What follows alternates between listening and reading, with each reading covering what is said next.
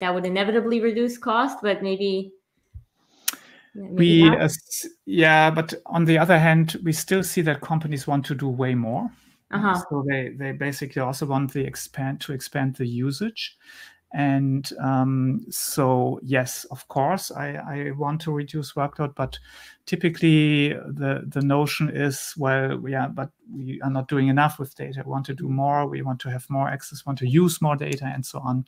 So I think, and this is also a comment on this discussion uh, whether automation kills jobs. Yeah? So taking the data scientist, yes, what we see here will basically automate some tasks we have. Yeah but on the other hand, we want to do way more, yeah, way more analysis. And so we will need um, way more people um, that from the proportion, yeah, the, the type of work that's automated will uh, increase, obviously.